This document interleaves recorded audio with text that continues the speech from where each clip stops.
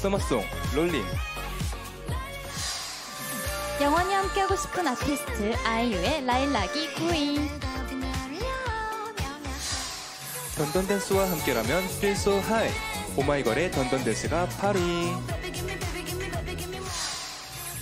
듣는 순간 공기마저 청량해진 느낌. 태연의 위켄드가 7위.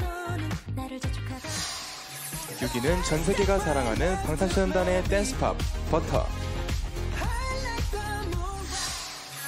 에스파가 초대하는 거대한 광야 Next Level이 이번 주 5위. 악뮤의 장르는 악뮤 레트로 사운드가 매력적인 낙하가 4위